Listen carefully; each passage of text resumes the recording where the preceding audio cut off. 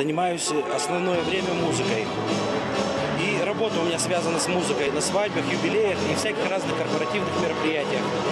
Слава, вы уже пели на втором. Да. Что-то поменяли? Были рекомендации вам э, в прошлом этапе? Что-то прислушались к чему-то? Поменяли? Да, да, да. Я устал от одинаковых писем И если нам не быть вместе Я нарисую в воздухе сердце Пусть растает Растворится в тумане осеннем И холодное воскресенье. Меня любовь навсегда оставит.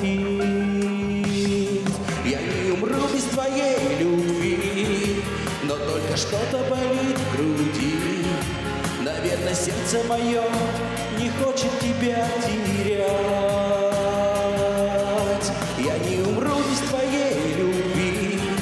Прошу ты только одно пойми Я буду помнить тебя всегда и ждать